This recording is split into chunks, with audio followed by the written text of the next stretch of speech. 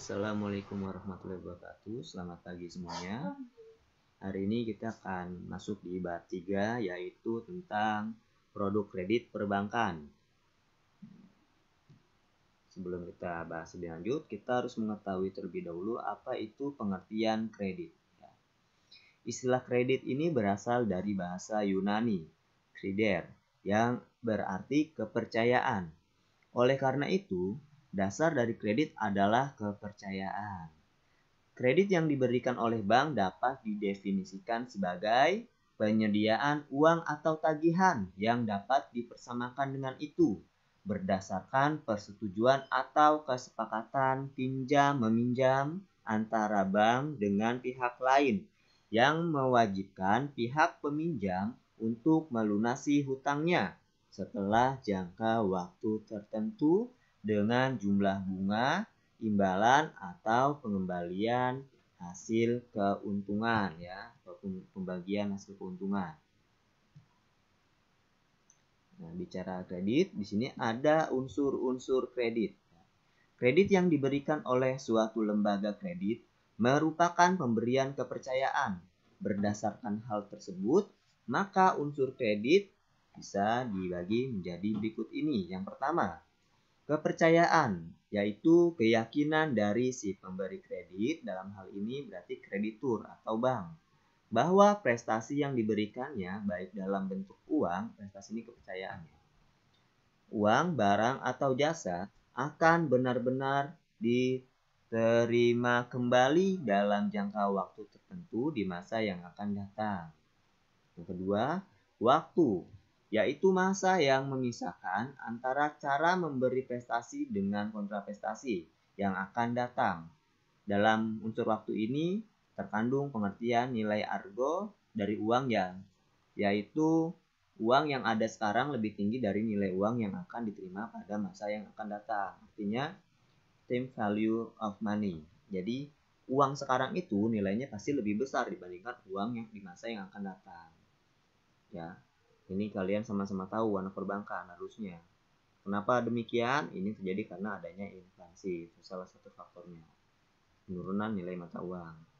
Unsur kredit yang ketiga ada degree of risk, yaitu suatu tingkat resiko yang akan dihadapi sebagai akibat dari adanya jangka waktu yang memisahkan antara pemberi prestasi dengan kontraprestasi yang akan diterima kemudian hari. Artinya sama-sama setuju bahwa ada risiko karena kredit ini sependek-pendeknya jangka waktu kredit itu enam bulan lah katakan. Nah, dalam enam bulan ini kan kita tidak tahu karena di masa enam bulan ini tidak ada kepastian ya dalam kegiatan ekonomi. Jadi kredit ini berisiko. Yang keempat ada yang namanya prestasi yaitu objek kredit yang tidak saja diberikan dalam bentuk uang tetapi juga dalam bentuk barang atau jasa. Ini kalau kita bicara barang atau jasa ini berarti kredit itu uh, multi finance atau leasing ya. Nah, sekarang kita bicara adapun unsur-unsur yang terkandung dalam pemberian fasilitas kredit menurut Martono tahun 2002 ya halaman 52 itu ada sebagai berikut. Yang pertama ada kepercayaan. Ini mirip-mirip ya, hanya nanti ada beberapa perbedaannya. Kepercayaan itu maksudnya merupakan suatu keyakinan pemberi kredit dalam hal ini bank ya atau kreditur bahwa kredit yang diberikan berupa uang atau jasa akan benar-benar diterima kembali di masa tertentu di masa mendatang. Jadi mendapatkan pelunasan.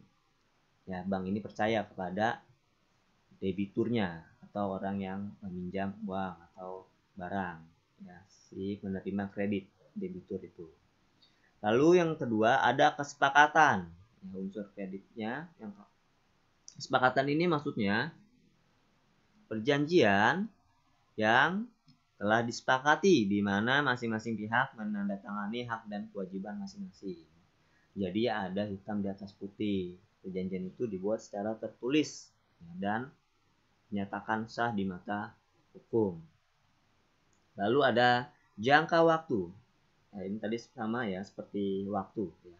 Setiap kredit yang diberikan pasti memiliki jangka waktu tertentu yang mencakup masa pengembalian kredit yang disepakati atau istilah lainnya ini kita bisa sebut tenor berapa lama kredit diberikan, misalkan satu tahun, dua tahun, dan seterusnya. Yang terakhir ada yang namanya risiko.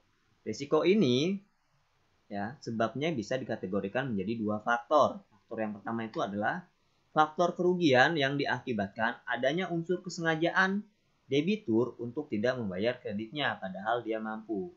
Ya, itu. Yang kedua adalah faktor kerugian yang ditimbulkan oleh unsur ketidaksengajaan debitur sebagai sehingga mereka tidak mampu membayar kreditnya. Misalnya akibat terjadi musibah bencana alam. Ya, yang ini tadi yang degree of risk masuknya juga ke sini. Jadi kita tidak pernah tahu ya selama masa kredit ini diberikan ada resiko-resiko yang tidak terduga. Tadi bencana alam. Orang kredit terus usahanya terkena musibah dan ya seperti hari ini kita sama-sama tahu ada pandemi ini juga pasti berpengaruh ya terhadap orang-orang yang punya usaha dan penghasilannya itu akhirnya terganggu. Jadi itulah dua unsur, uh, dua penyebab ya terjadinya resiko. Selanjutnya ada Jenis-jenis kredit. Jenis kredit ini dibedakan menjadi tiga. Yang kita bahas ini kredit-kredit pada umumnya yang diberikan ke UMKM ya. Jadi kredit itu sebenarnya banyak, tapi kita bicara di bab ini hanya pada umumnya untuk UMKM saja. Yang pertama ada jenis kredit berdasarkan tujuan penggunaannya. Ini ada yang namanya kredit investasi yaitu merupakan kredit jangka panjang yang biasanya digunakan untuk keperluan perluasan usaha atau membangun usaha baru. Lalu yang kedua ada kredit modal kerja, yaitu kredit yang biasanya dipergunakan guna keperluan peningkatan produksi dalam operasional. Kalau ini berarti contohnya pinjam modal buat bikin usaha. Kalau ini ini leasing ya, kredit modal kerja. Contohnya. Yang ketiga ada yang namanya kredit konsumtif, yaitu kredit yang dipergunakan untuk kebutuhan sendiri bersama keluarga. Contoh penggunaannya ini kartu kredit. Ya. Selanjutnya, jenis kredit yang kedua itu dibedakan berdasarkan jangka waktu. Ada yang namanya kredit jangka pendek, ini yang waktunya paling lama satu tahun. Kredit jangka menengah ini antara 1 sampai 3 tahun. Lalu ada kredit jangka panjang. Ini kredit yang memberikan jangka waktu lebih dari 3 tahun. Yang terakhir, jenis kredit yang kita bahas, ini ada yang namanya jenis kredit berdasarkan cara pemakaiannya. Yang pertama ada kredit rekening koran bebas adalah debitur atau nasabah diperbolehkan untuk melakukan penarikan uang sekaligus asal tidak melebihi jumlah maksimum yang disetujui. Ya, jadi misalkan jumlah maksimum kreditnya approve atau disetujui 50 juta.